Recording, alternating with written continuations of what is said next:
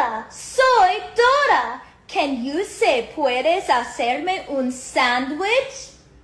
That means can you make me a sandwich in